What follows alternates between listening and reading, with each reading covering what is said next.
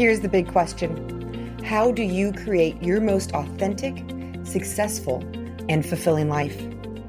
The Fresh Blood podcast studies the stories of people over the age of 40 who are thriving in life, finding those core golden threads that connect the underlying successes, those universal truths.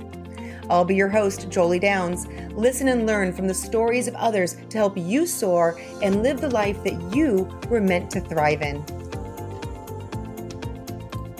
Today, we are speaking with Mikelann Valterra. Michael Ann is a money coach, writer, speaker, and leader in the field of personal finance.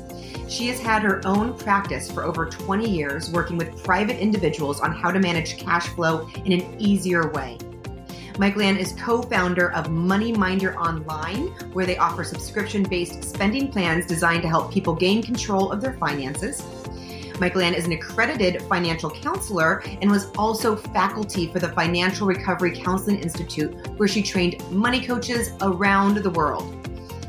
She is the author of Why Women Earn Less and How to Make What You're Really Worth, as well as multiple workbooks and audios on personal finance. Her blog goes back almost 20 years, and she has written for the likes of Forbes and Credit.com. I'm really excited to learn more.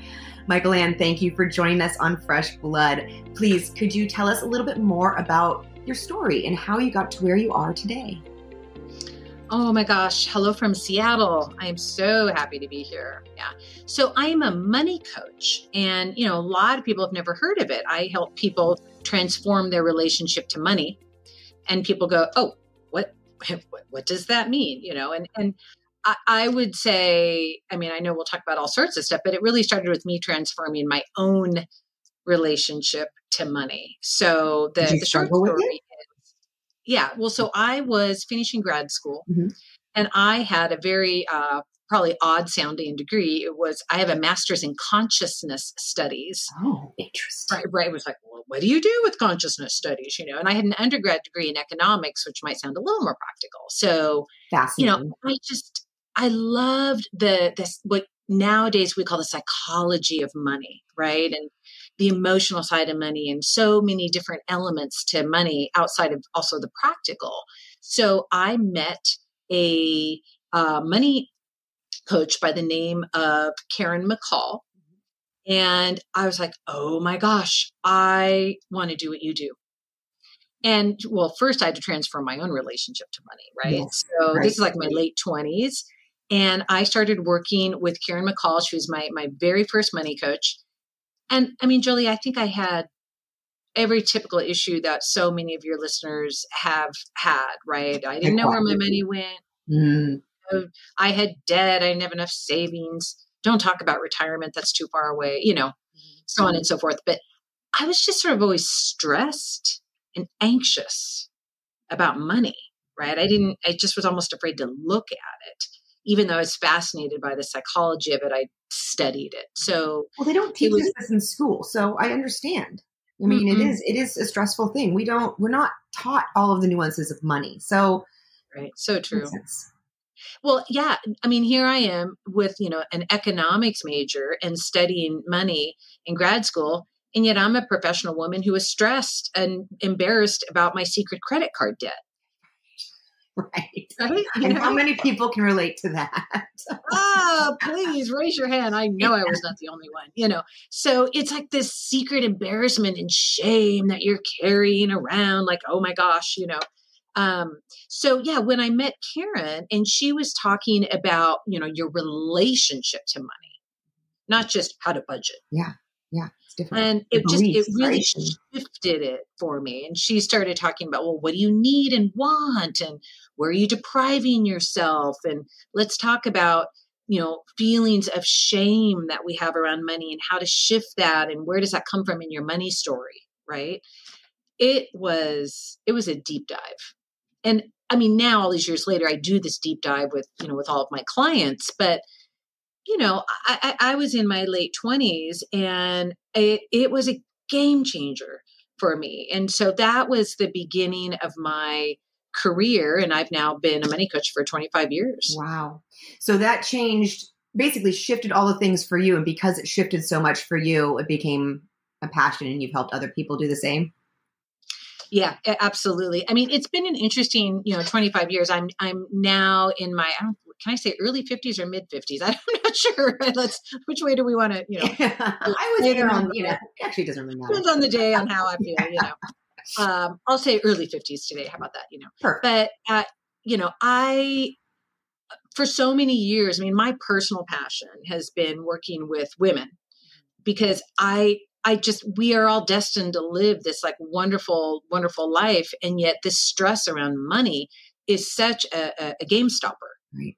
So many people are not stepping into their best lives because they're stressed and worried yeah. about it. So, mm-hmm. you know, for me, it wasn't just teaching people about finance because god does that sound boring when you say it that way right it it was more about where does all of this conversation around money connect with personal growth because i think you know we've all heard of maslow's hierarchy and you know we're all, so many of my clients and your listeners do like so much personal growth. At, at some point if you don't address your relationship to money it actually hurts your ability to keep growing into this wonderful, amazing woman. And at this point, most of my clients are 40 years old or older. Mm-hmm. Which is why I just love your podcast so much, right? Because they all are coming in. They've all had really interesting lives. No one's like brand new, right? Yes. Yeah. So we've got to start like, well, where are you and and where do you want to go and and go from there? And and I get it because I've had to rebuild my own life as i know many of your guests have with you know with all the things that have happened to me over my life you know divorce i mean the whole nine yards mm-hmm. what is one of the key things that you learned when you first met karen that really helped shift things for you oh so many things um one of the things is i had never had anyone ask me how much money i i wanted to make I was like, what, what, what, what do you mean? Like you just sort of take the salary that you're offered or whatever it is. It didn't, yeah. it didn't occur to me to look at how much did the life I wanted to have cost. It, it was it was like it flipped it all around for me because I you know I've now created a life in many ways I've only dreamed of but I I wouldn't have been able to to get here if I hadn't been clear like well first of all what is that life that I want to create right. and and and and what's it cost you know and, and to go from there and it's um it's huge and yet so many people don't think about that in money they're they're certainly thinking about well, you know what do they spend or what do they need but to push it to the next level of what is your ideal life, Jolie, and and how much would that cost you? Yeah. And now let's figure out how to get there. Oh, I completely agree. I think I think a majority of people are are walking through life very reactive to whatever's yeah. happening around them, um, rather than proactive and thinking about what it is they want. Because we so many of us haven't been asked that. Like you said, no one asked you that and i think that's very common to be honest with you. I think i think a lot of times you just i don't know so much is built up around you in society as you're moving through life and there's this expectations and you're following these paths and and you start to or you forget to ask yourself or no one asks you what is it that you want? and stop to think about it. So i love that she made you think about that. And so that helped you create in your own mind of what you wanted. Yes yeah, absolutely. I mean, at the time, you know, I was pretty young. Um, it's funny, you don't feel young when you're out of grad school and in, in your late 20s, right? but I was, yes. you know.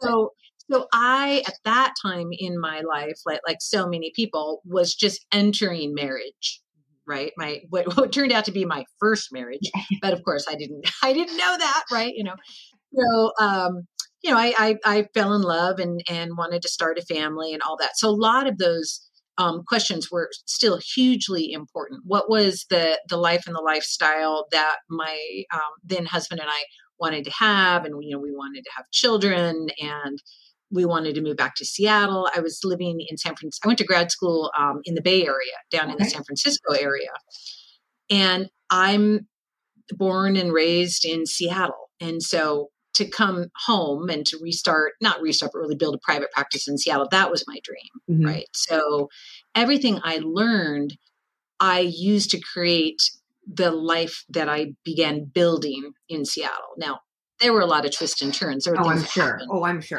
tell me, tell me a little about that because building what you built is not. I mean, this is a dream, and it's a dream that a lot of people have. Mm-hmm. It's not an easy dream. it isn't, but it is very worthy. So, tell us about your own your own story of how how did that happen for you? I mean, because you're in your 20s and you decide that you want to be a money coach. How did you go about right. doing that for yourself? Well, so I start. I, I trained with Karen. I did my own coaching with Karen, and then she trained. I was one of the very first people that she trained to be a money coach. So I finished grad school, finished my certification in money coaching, and I started a. Um, I call it a baby private practice in San Francisco because we weren't quite ready to move to Seattle. So I started seeing my my you know first clients and really learned the business of money coaching and whatnot. When I moved to Seattle, uh, I basically had to build a network from scratch. You know, so I joined women business owners in Seattle, did a ton of networking, talked to anyone who would talk to me. Yeah. Right. Mm-hmm. Um, nowadays, when you say money coaching, it's a little bit more familiar. Now, it's still a fairly new field, but when I was in, when we moved to Seattle in, in 98, all the time I spent networking, people go, well, what, what, what do you do? Money coaching? What? You know, so I'd mm-hmm. have to say, I don't do investments I'm not an accountant. In many ways, I'm more like a financial therapist. You know, so I spent, eh, but what it allowed me to do in those early years in Seattle was do a lot of speaking and educating people around what does it mean to transform your relationship with money and I, because i had to have the conversation because nobody knew what money coaching was and so that was the beginning right so I built a private practice with, you know, networking and I did a lot of speaking, and I did a lot of writing, um, pre blog. It's pretty wild, right? You know, yeah. I actually had ads. I'd save up my money and I'd like write up an ad. I think one of my favorite ad was something like, you know, call 1 900 for something else, call 1 800 if you need help with your money, you know, and I'd play with all these like really silly creative ads like, you know, you think this is a taboo. What about money is a taboo? You know, so I, I did all these really silly ads that I placed in newspapers in Seattle, the small newspapers, because yeah. I couldn't afford to um, put an ad in the Seattle Times. And then I started classes pretty much for free mm-hmm. at the community colleges on how to get a handle on Christmas spending, how to get out of credit card debt, how to budget, even though I tend to not like that word because it sounds like a diet, but yeah. you know, how to get a handle on cash flow. And then one of the local television stations in Seattle was like, "What? What? Eh, who is this? And what are they talking about?" And so then I started guesting on King TV and KIRO TV, local TV. Yeah. And I laughed because my friends were like, "Oh my gosh, the phone is going to start ringing off the hook. You've been on television." No, that's the thing you learn if you're self employed. If you get a big promotional thing that happens, you then have to spend all your time telling everybody that you were on TV. Yeah. Right? You know this. Yeah. You just so I mean, bottom line is I had to learn both my own skill and craft of really coaching people around the relationship to money with money, but I also had to learn how to be a business owner. Yeah. Mm-hmm. And that's a big deal because, you know, being self choosing to be self employed, choosing the self employed life is a huge decision you know and i i know that that many women um, end up choosing it partly because of you know like you've talked about in your podcast ageism in the workplace and and there's lots of reasons why self-employment makes sense for women so that we can set our own schedules but you know nobody's just handing you business. So it you you know it's like how do you handle your discomfort around for me really dealing with uh, am i okay being visible? Mm-hmm. oh am i okay one, right? myself out there? How did you do that? How did you get yourself to do it? Because it isn't easy. It, it is very difficult to do to put yourself out there. Yes so true. Uh, a lot of therapy. Yeah. therapy, works. Therapy works. Therapy, therapy, therapy, therapy. Um, everyone go out and hire the nearest psychotherapist you can. Um, so, I mean, I, I worked hard on, on that, but you know, the other piece is for me, and I, I, don't think this is unusual, but the, the more visible I am, Jolie, the more I have to increase my self care. Mm-hmm. Because it just it it takes a lot of energy, and I know for me personally, I happen to be one of those highly sensitive people. You know, the HSPs of the world, the highly sensitive people. So I am really sensitive, and so if I'm being visible and I'm putting out like a lot of newsletters or I'm speaking, there is this fear of like, oh my gosh, what what are they going to say or they're going to think i'm this or they're going to think i'm that you know whatever so the the more visible i am the more time i have to block out for super private me time you know whether it's the proverbial bubble bath. And for me it's you know i've got a really deep meditation practice. I've got a, a personal writing practice that's part of my meditation practice. But i have to literally block out time that i don't see clients on days that I have a lot of outgoing marketing mm-hmm. because it just feels like this massive energy yeah. that I'm putting out and I can handle it. But you have if, to care. Yes. If I'm really, you know, it's just like it's exquisite mm-hmm. self care because otherwise I get I I just turn into a turtle otherwise. I want to like crawl in my shell and not come out and that that's not really great for being a business owner. oh, I applaud you for this. It's such a such a good message, and it's important for all of us. And I think so much, so many of us that we don't do that self care, and it does make such a difference. I feel you. I'm I'm a sensitive person as well, and I I, I completely I'm right there with you. If there's a lot of going, like a lot of that energy going out, I too need to have that me time, that downtime in order to build myself back up again. It's, it's building that energy back up. It's a, the de- depletion needs to be restored, essentially, is how it feels to me.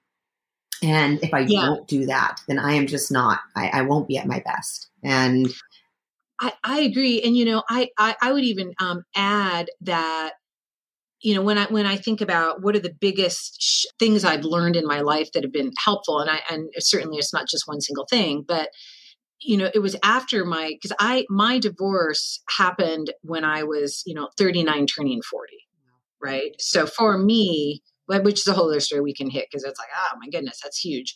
But for me to learn about being an hsp highly sensitive person I, I had never really encountered the the term. I mean, I always knew I was sensitive, overly sensitive, too sensitive, you know, all that stuff, right? But when I dove into Elaine Aron's work and really learned, like, no, no, this is actually a thing, right? Being highly sensitive is a real thing that you can learn about because if you are highly sensitive, which we now know is about 15 to 20% of the population, so it's a lot, you know, mm-hmm. we're not the majority, but it's a lot of people highly sensitive people are wired to be among the happiest people if you know that you're sensitive and you know what to do to handle and take care of your sensitivity. If you don't know how to handle your sensitivity, then you're probably going to be among the unhappiest of people. And and that was huge for me to learn about a I'm not a weirdo. I can be a successful self-employed businesswoman and still be highly sensitive and, and b there's all these strategies that i can use to help me be successful and, and and happy. And so it was just such a lovely thing in my journey because it really came up a lot in my business around about really taking care of myself so that i could then go out and be of service to people. Right. And that's so important. And really, everyone has a different self care kind of need, yet so many of us are not finding the one that's right for us. And that is right. a really important message all around. So, I mean, if you don't have a self care, you're not taking oh, care yeah, of yourself. Everybody. Oh yeah. Oh my gosh. But yes, you know, it's, it's, different things that we need, but we need to we need to have that self awareness and within ourselves to know when when it's missing and when we need to go find it.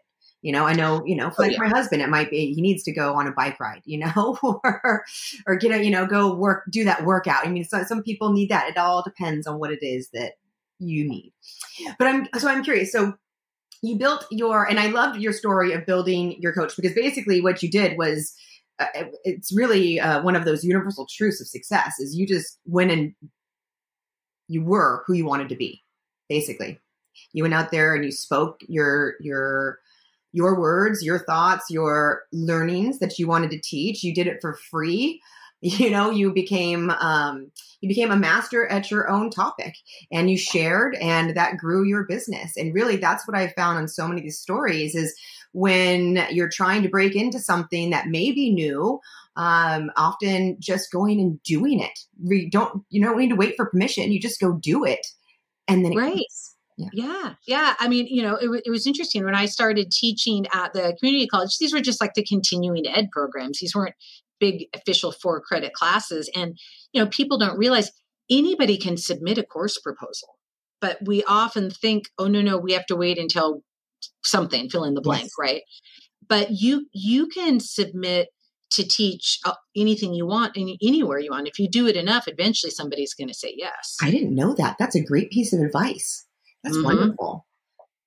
Great avenue. So so you build up your your coaching practice and things start going well.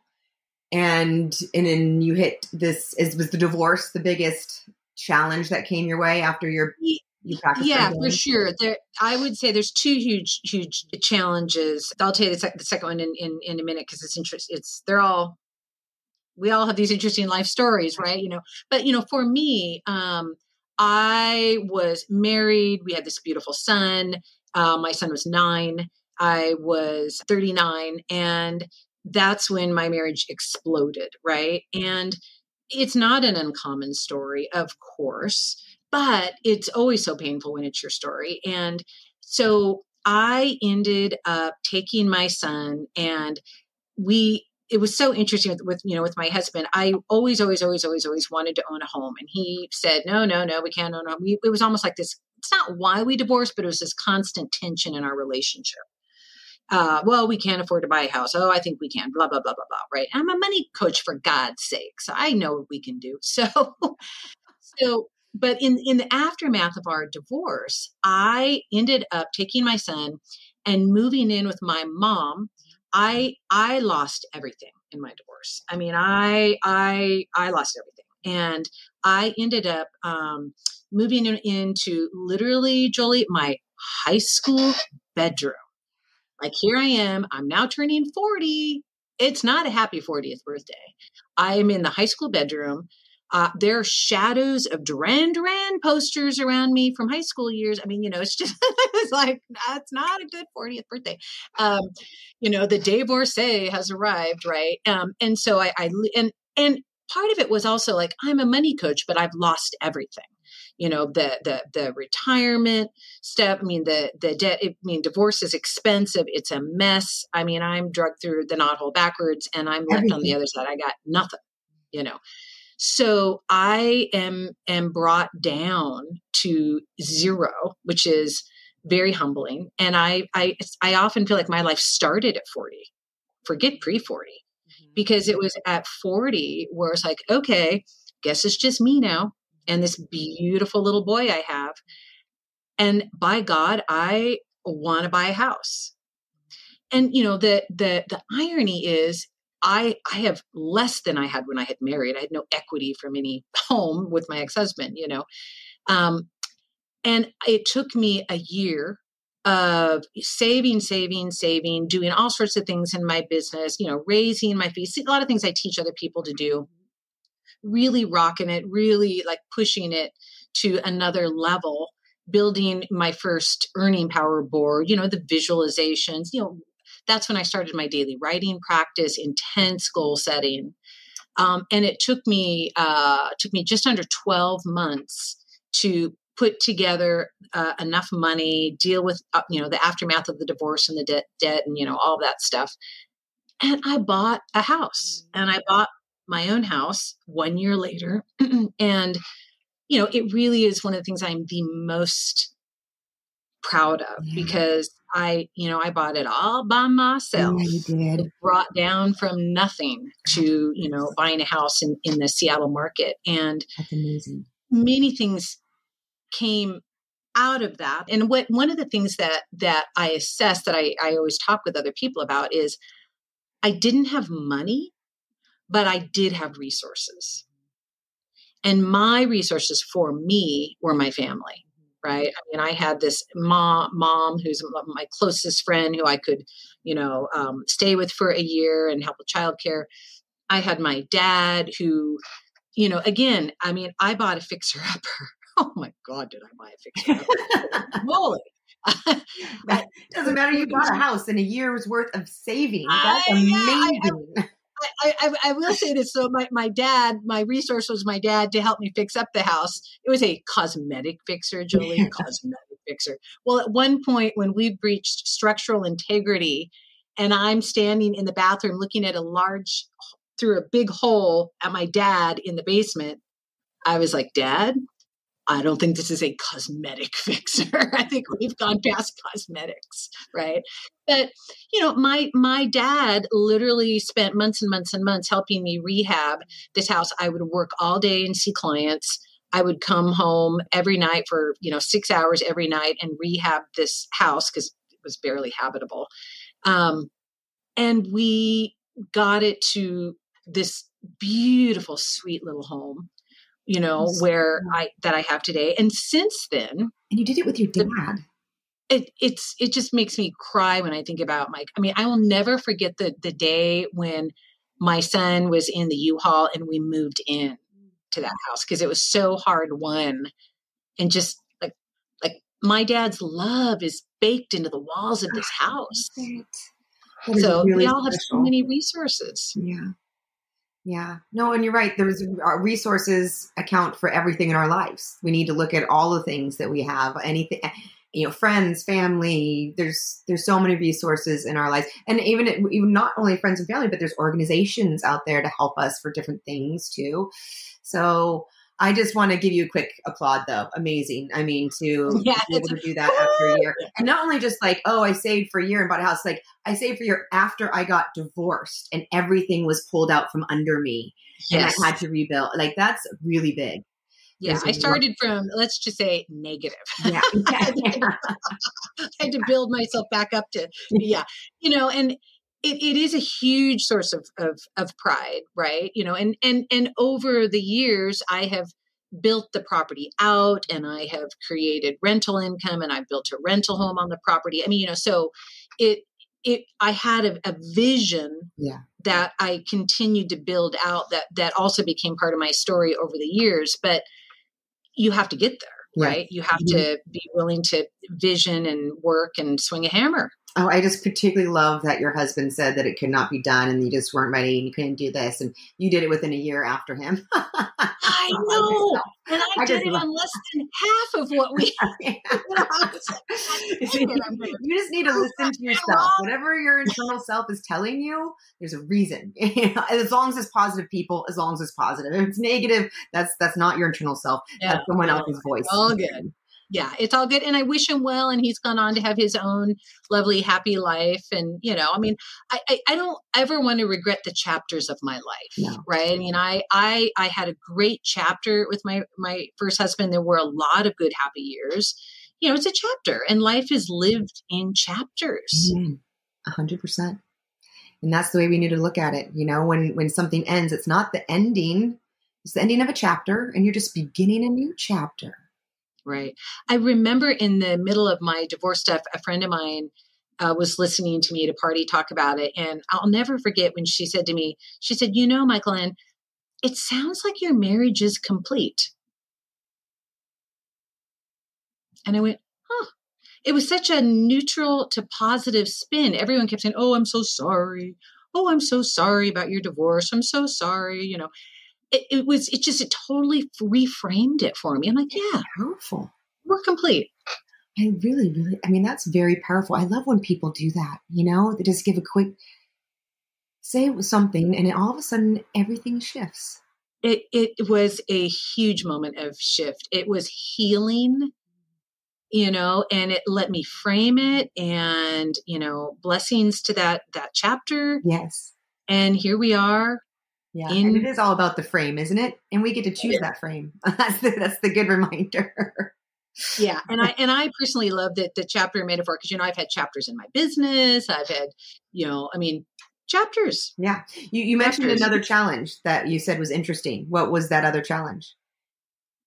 Oh, oh, oh, oh my gosh, yeah. So um, after so I've been in business 25 years as as a money coach. And so Karen McCall, who was my original money coach, became my mentor, my friend, my colleague. You know, we're still very close to this day. Well, in 2011, um, 2012, 2013, we co-founded a software company called Money Minder Online, the one that you mentioned in the, the intro.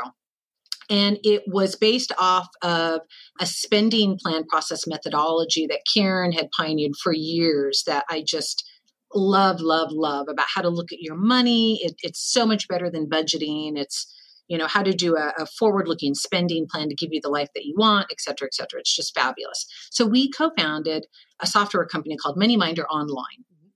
And, you know, it, it was great until it wasn't because what I realized through the journey is here I am, a money coach by day, and Karen and I are running a software company by night. Meaning, I it was some of the hardest and most stressful years of of my life. To be honest, it was after my divorce. Um, I my friends still laugh to this day because I'm not even super great with with technology. You know, they'll they'll tease me like, "Oh, how you want to know how Dropbox works?" You know, like, you know, "Oh, you're running a software company." But I mean, I know the process and the methodology and the software, you know, like the back of my hand, right? But and Karen's amazing. I mean, she's just this brilliant woman to this day. She's just amazing. And what I got clear in about 2014, 2015 is I wanted out. I didn't want to keep running the software company. I wanted to go back to being a uh, pure money coach. I didn't want to continue being involved in the software company. But but it was hard because as is true for many of us and I think sometimes more for women, um, I was so close to Karen. You know, she not only was my business partner, she was one of my best friends. We were, I mean, you know, we were so close. And I felt like I was letting her down to say I wanted to leave the active management of, of the software company. But uh, my stress was so high and my unhappiness was growing and growing and growing. And it's hard. It, we get clouded, I think, by all of these relationships because I didn't want to let her down and I was losing sight of the fact that, well, actually, where's Mikelann? You know, where where's my happiness and what what do I want to do with my life? And I had to get clear that I didn't want to keep running the the software company, right? And so when I got clear on it, I went to Karen and said, okay, you know, here's where I am. Um, you know, I want to leave. And I think there's a part that's like, oh no, she's going to be mad. She's going to be, you know, I mean, we don't say these things in our professional world, but internally, these are hard discussions. You're like, oh my God, I think I'm about to have a business divorce. You know, no, I just, really I just, deal. I, a, yeah. I was like, this is my business partner. I mean, it's right? a big deal with your best friend. It's a big deal with your business partner. You combine them. It's a really big deal. Yeah. It's it's huge to to to shift a business partnership it's it's scary i mean it just hits on everything right yeah. you know and again it was only a couple years after my uh, divorce from my yeah, husband so you know and and you know Karen has always said you know if something's not working for one person it's probably not working for the other person in that as she and i processed and looked at it it made sense for both of us. It ended up being a huge blessing in many ways for her as well, so that I did leave MoneyMinder Online she continued running it without me. It was fine. Guess what? The world does not begin and end with Mikelann being involved. It's like somehow I thought the world would fall apart. No, the world continued without me at the helm, right? Um, and then what Karen ended up doing is closing MoneyMinder online and relaunching um, new spending plan software called MoneyGrit.com. Um, and and it's beautiful software. I love it. It's Karen's. I recommend it all over the world. I use it with all of my clients.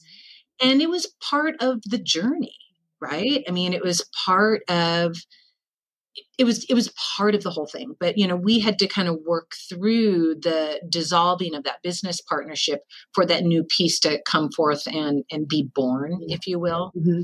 Mm-hmm. And and now I'm so happy for her. You know, I mean, Money Grit is like I said, it's used all over the world. It's it's it's amazing software. Um, and I am doing what I love. Yes, I'm happy I for you too. Use, yeah, I use the process that I, I don't tell anyone anything I don't do myself. Yeah. Right. So I use this process to guide my life forward and it's it's such a good thing. Yes. I want to applaud you for that too, because look, there is a very short amount of time that we are on this earth and to be spending it doing something that you really don't want to be doing it's just not worth it. I, I, myself spent five years doing something that I did not want to be doing as well. And as soon as I was able to let go of that, it was it like oh, it just opened up all all of the room for all the things that I want to be doing. Just made right. life so much better in every single way. So yes, it's hard in those moments, especially when you've built something with someone. Uh, you put so much time and energy into it, and you're like, oh, how do I walk away from this when you know I've done all of this and I Mm-hmm. you know, I've given up all of this, or you know, I put all and I have this great person. But if you're unhappy, if you right. do not want to be doing it, you need to get out. So. It's so true, you know, and, and as Karen and I have talked about it over the years, we're so sensitive to each other. You know, she would want to do things that were, you know, good for me, but may not be good for her. I'd want to do things that are good for her that may not be good for me, you know. So it, it was a great thing to untangle I, you know, I spent a lot of time talking with a, a therapist about it, really kind of untangling this, my own thoughts and feelings, and just getting clear about where do I want to go in my life, and is it is it okay to to fundamentally go after what I want for me? And in many ways, I I simplified, mm-hmm. you know, because now all I do is money coaching and you know leading women through this process so that they can create the life that they want using money as the sacred tool. And isn't life lovely when you have that level of clarity and and and you're so focused? Yes. You figure out what you want and you go you go do exactly that. You got rid of all of the, everything else go. Got rid right? of all the things you weren't enjoying. right. Focusing on the ones that you will keep turning if you are not involved in everything else, yes. right? yes. No, really, really good lessons from your challenges. I, am curious, um, before we get into your successes, I'm curious, what is your personal definition of success? And based on that, what do you think is imperative for having continued success throughout life? Well, there's a small question. What would be my definition of of um, success? I believe that success is about stepping into your owning your happiness and owning your power. I am successful when I am stepping into my own power. I'm stepping into my own happiness and claiming it to me that's success when i can claim my happiness and i can claim my power it's um that might maybe that sounds a little too like mushy but there's just something in that about claiming happiness. I have a right to be happy and i'm going to name it and i'm going to frame it out and i'm going to go there and i'm going to grab that happiness for me. And i and i get to have it i deserve to be happy. That's to me is is success. And it's it's going to be different for all of us. It may or may not involve lots of money but you know you want to claim for you what makes you happy and go there. Mm, it's powerful i completely agree. I, am curious so i mean you've done a lot and we've talked about some really big successes so it might you might have already talked about it but what would you mm. say is one of your greatest successes in life and, and why? Um, well, it was a huge success to buy, to buy that house. Oh my gosh, yeah. you know, I, I, I do consider co-founding Money Minder Online with, with um, Karen back in 2013 a big success. I consider it a big success to shift to the next chapter away from it.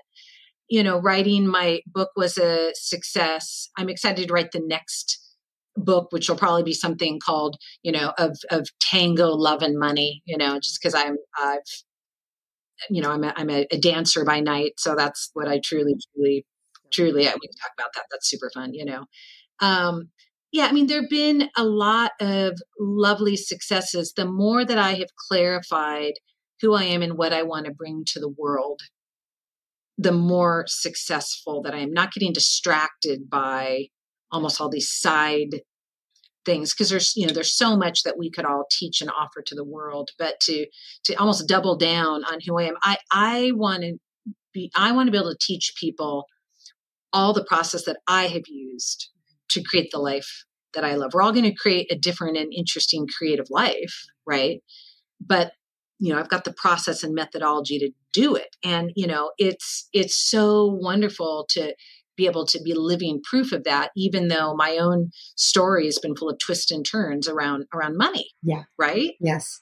I mean i lost so much in my divorce. I mean you know it, again I- anyone who says that that they've never had you know money downs it's like come on. I you know i love to say broke is temporary poor is eternal. Meaning we all go through times when we don't have a lot of money. Yes. It, it's temporary. Yes. It's temporary, you know. Poor is a state of mind. Completely agree. I love this so much. Right? So yes. it's like you want to know and feel you are true abundance because abundance is more defined as an internal state. We get confused and think it's about the external state. Yeah. Oh, it's so good. You know, um, tell us a little bit about your book because it's an, I mean, your book is a wonderful topic and, and really hits home for a lot of women why women earn less. What is something in your book that you could share that might listeners might find very helpful? So the the this this particular book, the one that I already published, that one. So it is very much on uh, why do women undersell themselves? And more importantly how do we not do that right? So it it talks a lot about that when i wrote it the term under earning was not very commonly heard. It's a little bit more heard now but under earning is defined as the pattern of earning below your potential. So it's not about oh oh i didn't make a lot of money because my boss wouldn't promote me or you know everyone has something that happens right? But when we have this pattern of consistently underselling ourselves that says that there's something else going on. And so one one thing that's really helpful is simply naming it. A lot of people need to stop and go wait you're right. I am the common denominator. Like there is a pattern of me accepting less money than potentially the other people around me. And you know we could get caught up in talking about the wage gap and and women particularly um, women and age is ageism in the workplace is a oh my goodness that's a big topic. Um, but what what we know is there's this other piece where women often tend to accept less money than the people around them and they don't know it. They don't necessarily know it right? Like right? Right, right, right. So, like, I'll tell you just one one quick study, just to kind of dr- drive it home for your listeners.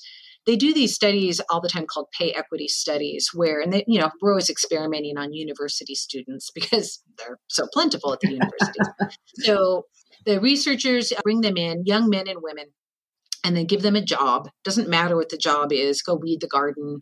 Go mentor undergrad students in essays and help them in math, whatever. Okay, so go do this job and they come back from having done this task, and the young men and women are asked to self evaluate how well did you do the job? Okay, so the good news, Jolie, is that women don't self evaluate less than men. We know we do a good job. Mm-hmm. We give ourselves just as high a score as men do in terms of how good we are at our work. Mm-hmm. Not the issue. Okay. Mm-hmm. So, but here's where it's interesting. The researchers say, you know, next we need more help and next time we want to pay you.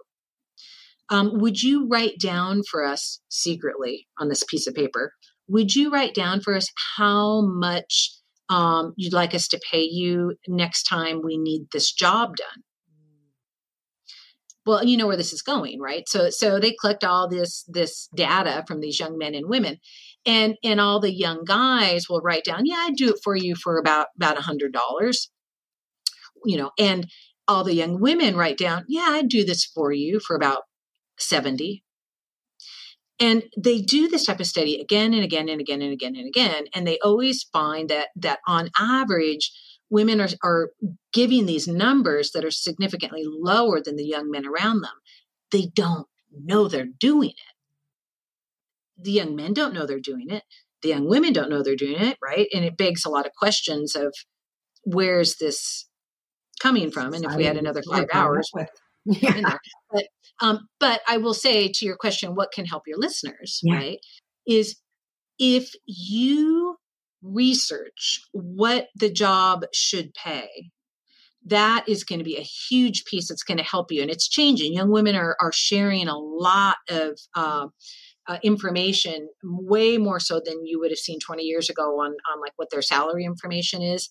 And if you talk to your five closest women friends and tell them what you're thinking of doing and get their cheerleader support on the next time you're going to go ask for a raise or raise your fees, you are way more likely to not fall into that 30%. That 30% happens when women think about how much money they're going to ask for in a vacuum.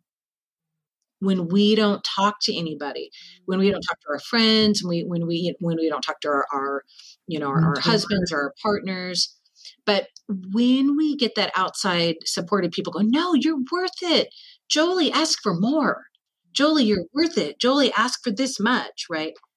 it makes a huge difference, a huge difference. And so, you know, and this is, I think, where women shine because we're really good at using our tribe. At networking, at using our girlfriends. So if we bring mm-hmm. money into the conversation around cocktail hour, um, we're going to benefit. Yes, that's we're going to make more money. Not very often. Really good point.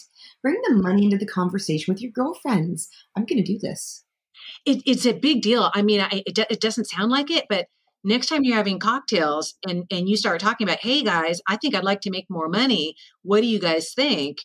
Oh, that's a big conversation because your girlfriends want you to to make more. You know, and and it's just complicated, yes, but younger women are talking about it more and more and more freely. The conversation is changing, right? Um, and there's a lot out there on it. But what I love is just starting to talk about it, you know, and, and in terms of being a money coach, one of the things that I always add is let's get clear on how much money you need and want to make. Right. Right. Yes. That goes back to that lovely ideal life you want. Mm-hmm. What does that cost? Let's not be afraid of looking at that number. Yes.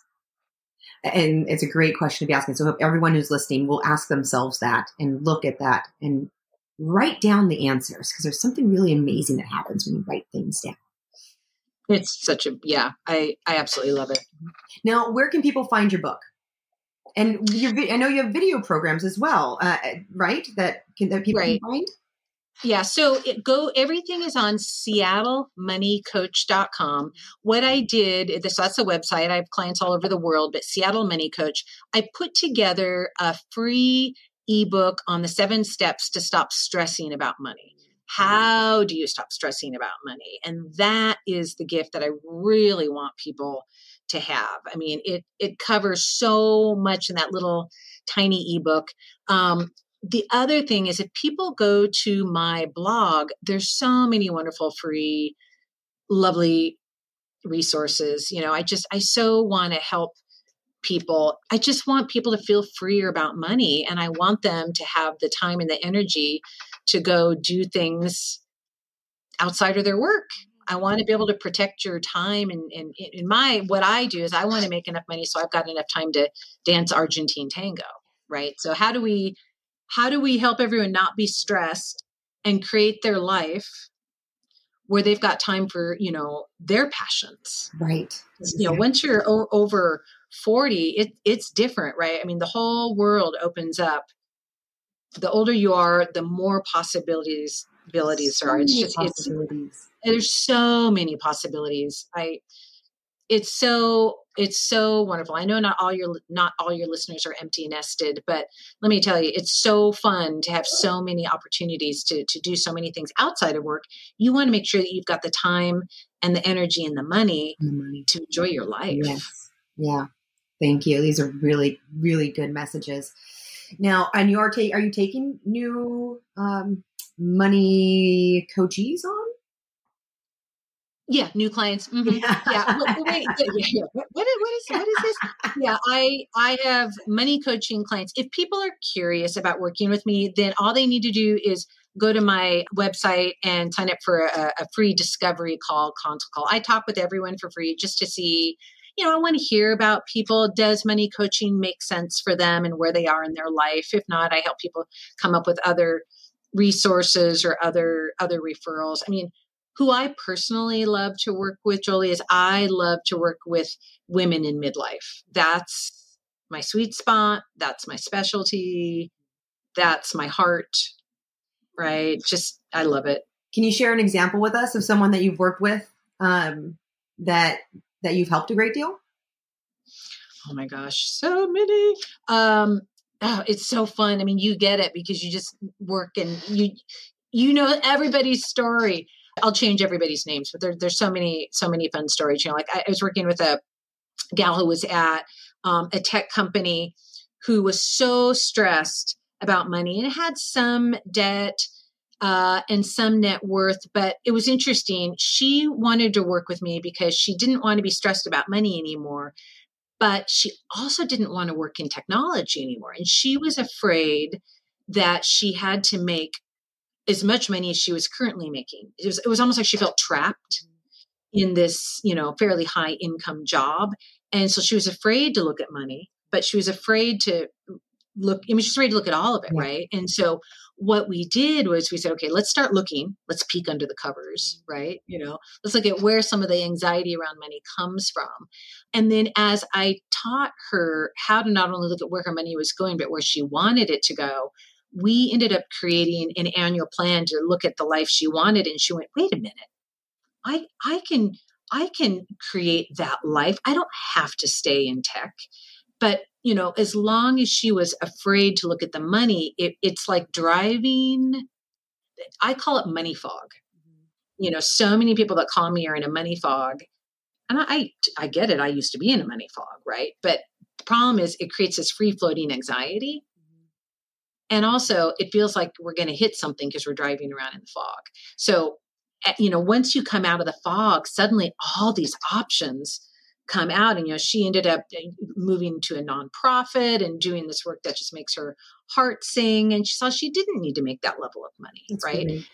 it's not everybody's story i mean everyone gets something different from becoming so financially clear and getting clear but that's it's like what is the life that you want yes. and then how does money become a sacred tool i i'm, I'm very big into the spirituality of mm-hmm. money as well, which you know is probably goes way beyond what what you want to talk about. But you know, it's like we separate spirituality and you know so many deep things from money. Like it's just this weird neutral or masculine tool, and yet you know, money is, I believe, the sacred energy that we can learn to use and have nourish us. Yes. And we want to befriend money. So there's a lot of wonderful things that we can do. Yeah.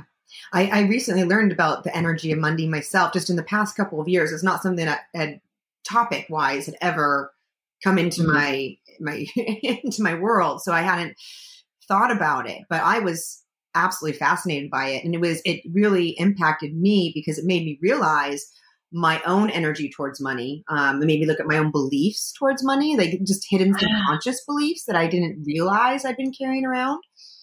And one of the things that stuck with me is is the this man he suggested that um, he talked about happy money, you know, and, and that you want to have happy money in your life. So that when he suggested whenever you spend money um, or receive money, whichever, you say arigato, arigato. thank you, thank you to your money, and that makes all the makes the energy of your money happy. And I really yeah, it's no, I, I I love that. It's like a receiving valve. We want to give and receive. You don't want to hold money in this tight tight fist. Yes. Right. And, you know, for some of us, it goes back to how we were raised. I do a lot of work with people's money story and our programming and our beliefs around money. And Uh, unfortunately, as, as I'm sure you know, a lot of people are raised with their parents fighting about money. Mm-hmm. And it, it creates this very early belief that's almost unconscious that says, oh, money, it just causes pain.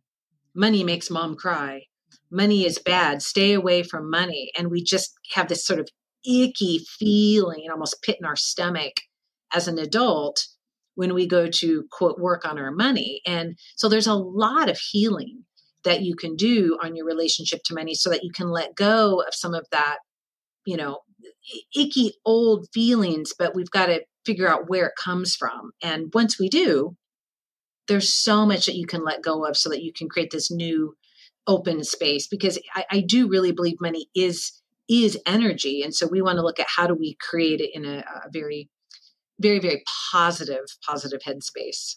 Great i'm fascinated. I i am absolutely fascinated by what you do and i'm i'm very interested. So if anyone's interested we'll have all of your information. I know you let them know but also have the information in the show notes for them to go find your website. And before you go i'd like to ask you my final question. What are you sure of in life? I am sure that at heart, the vast majority of people are incredibly good people are incredibly good people. Um, and i am sure that that the key to life is love. The key to life is love. I really really really believe that. Oh i agree. Thank you Mikelann. This has been wonderful. I really appreciate your time. Thank you. I love, love, love your podcast. I'm so happy to be able to talk with you today. It's just, ah, there's so much wonderfulness out here for all of us women in midlife. Hooray. No, it's a new, it is a new life and it's a wonderful life. And it's all about that reframe, right? Absolutely. I say life starts at 40. That's what I say. Yeah, it's not downhill. nope, nope. It is absolutely wonderful. New beauty. So, yeah, new you. beauty. Yeah, I did never danced before I I started dancing Argentine tango at like 47 and I'm competing in the National Tango Championship next year. You right? are. That is so, amazing. That life starts. It's like there's all these wonderful things that come into our life. Bring it on. I love it. Oh my gosh, I love that. I'm not gonna lie, Argentine tango is something that's really, really interested me as well. I might go check that out myself. I think that women in midlife, in some ways, are open in a way they never have been, Jolie, to like, you know, different hobbies, different interests. I mean, because think back, like in my 30s, oh my gosh, I was spending so much time in the mom role, right? And mm-hmm. you just didn't have a lot of time. Right. Versus now, I work with a lot of women. Like, for example, I've got a lot of, I have three different clients that ride horses right? As a huge. I love riding horses too.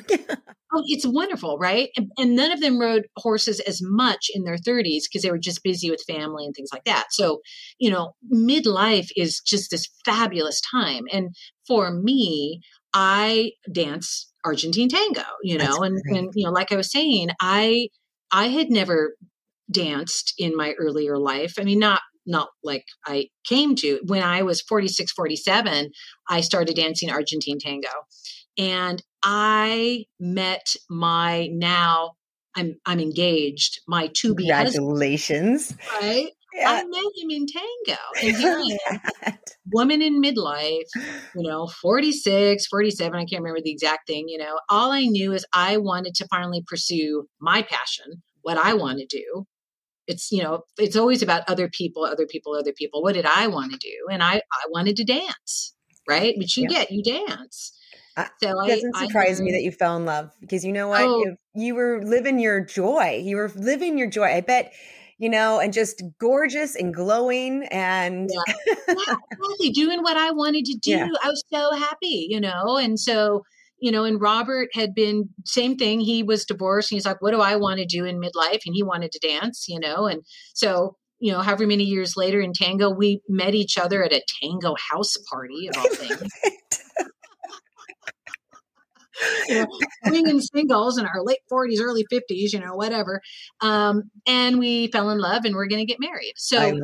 it's, I just, I love it because I want people to have the freedom and not be stressed about money so that they can pursue what lights them up. Because oh, sometimes what lights you up is also not what you do during the day. It's also what do you do when you're not at work? Mm-hmm. And how do you create a life that has all of that? And you want to make sure that you've got money for your hobbies and you're not stressed so that you can enjoy all that life has to offer. I mean, nothing's better than midlife, in my opinion. I love it. Thank you, Michael. You know what? Following your passion is for the win. And if you need to help getting that money to follow your passions, Mikelann is the woman for you. I will get you there. Yes. Thank you so much. It's been wonderful. Thank you. I just I love your podcast. I'm so so jazzed for all, you know all your episodes. They're so fun. I just I love the whole topic. Rocking it after 40. It's just awesome. So thank you for having me. Thank you. It's been great. I loved talking with Mikelann. She shared how she had this huge life shift within herself when she experienced incredible changes after working with a money coach. This coaching had such a big impact on her life that she wanted to share that knowledge with others. Right off the bat, Mikelann is sharing a universal truth. Find something that works for you, that lights you up in some way, and then fill yourself up with that thing until you are overflowing. Once you're overflowing, go out and share that overflow with others. This is a winning formula in life. And Mikelann admits it was not easy building the business, especially in the beginning. She not only had to try and sell her services, she had to educate people on what she was actually doing. Mikelann once again employed a winning formula. She put herself out there. She gave free classes, she gave free seminars, she gave free speeches, and she educated anyone willing to listen. She did not wait for permission or for someone to ask her for something. She just did it. You must first be what you want to become. Mikelann, she put herself out there. She stepped into those uncomfortable situations and she kept at them until they became comfortable, which is important to remember because anything that we do that is new is going to feel uncomfortable. That's normal. This is how life works. And so many people give up when they feel that uncomfortableness. But you can make anything that feels uncomfortable comfortable simply by not giving up. Now, Michael knew her wants, she knew her why, and she kept moving forward until she created the coaching career that worked for her. Have you ever given up on something that you wanted because you felt uncomfortable? What might have happened if you leaned into it and became comfortable with that new territory? What might happen if you try again now? And what about other people? Have you ever stopped yourself from going after what you wanted because of what somebody else said? I know I have. And it's usually done by someone that you love, someone who's trying to be well meaning. But in reality, it is simply that person is putting their own personal traumas, their own personal stories and beliefs that have been formed by other people onto you. You are the only one who knows what is right for you. No one else. When you feel something deep in your gut, listen. Mikelann's husband told her over and over that they were not in a position to be able to buy a house, even though she was a money coach and felt that they absolutely could buy a house. His own absence of belief got in the way of Mikelann's dream. It was only after her divorce that she felt the freedom to listen to her own voice and work towards making that dream happen. And even though she was left in a severe financial deficit, she managed to save the money needed to buy a house within a year. Absolutely amazing do yourself a favor and listen to that internal voice inside. Do the thing that you've been yearning to do. Do not let others' fears or opinions stop you from doing what you know is right. When dealing with your goals, Mikelann had great advice here. You have to visualize. You have to visualize achieving your goals. If you can see it in your head, you can hold it in your hand. But you have to work for it. You have to look at where you want to be, make a plan to get there, and then execute. every day, taking at least one baby step towards your goal, and you can baby step your way to any objective. Mikelann shared another important lesson around her divorce. When her friend shared that it sounded like her marriage was not over, it was simply complete. It helped Mikelann reframe the entire experience. She changed the words, and all of a sudden, the same experience went from feeling sad to feeling hopeful. She reframed the story and found herself ready for an adventure. And we can do this in every situation. You can choose how you frame your experiences. So, when you are choosing the story that you are telling yourself, when you are choosing the frame that you are putting around your own personal story, be aware and ask Is that story serving you? Perhaps for you, it's simply that this particular chapter is complete. And it's time to move on to the next one. Mikelann's experience about starting the software company with her good friend and then struggling to find a way out when she found herself deeply unhappy. This really resonated with me. I too found myself in a work situation that made me deeply unhappy. I spent five years of my life investing time and energy into a family run company that I really did not want to be a part of.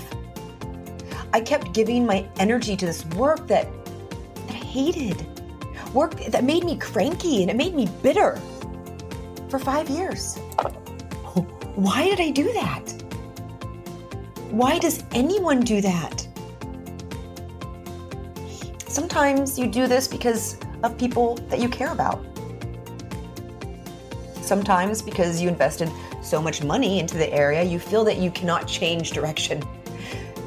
Sometimes because you invested so much time into the area that you feel like you cannot change direction. But here's the truth you can always change your direction. In fact, you owe it to yourself to change direction when you know that something is not right.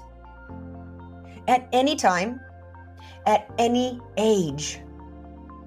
And if you are unhappy in what you are doing in any way, then it is absolutely time to change that direction. And it's okay. It is okay if you have to start all over. It is okay if time and money was spent. It is okay if it is not what other people want. What is not okay is to continue to suffer within something that you have the power to change. When a crisis took away my ability to do that job, then and I found myself forced free of the work that I so despised, it was like a new world opened up for me. I was so much happier. As soon as that space was created, all kinds of new opportunities that I wanted to be a part of started coming my way. It was serendipitous. Not only had I eliminated that which had sucked my energy, I had created the space needed to allow myself to fill up with even more of that which made me thrive. I kept asking myself, why did I wait so long?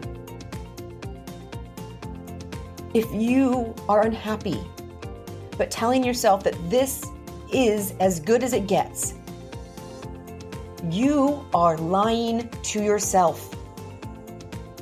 Eliminate the things, the people, and the places that you do not like and replace them with the things, the people, and the places that you do.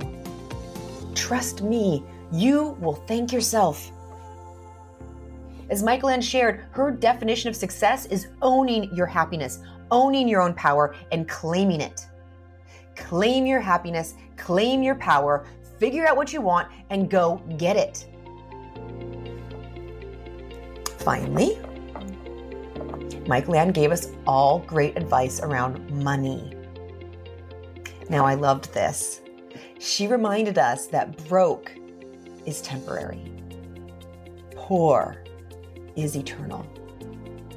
and people poor is absolutely a state of mind. Your abundance is an internal process. What are your personal feelings around abundance? Do you think money is hard to come by? Or is it easy to obtain? Do you think money corrupts? Or do you think it opens up opportunity? Do you think money causes problems? Do you think too much money causes distrust? Whatever it is that you think, you will be right. Take a look at your money beliefs. Are they true? Are they serving you? If not, you need to change your beliefs around money in order to change your overall money situation.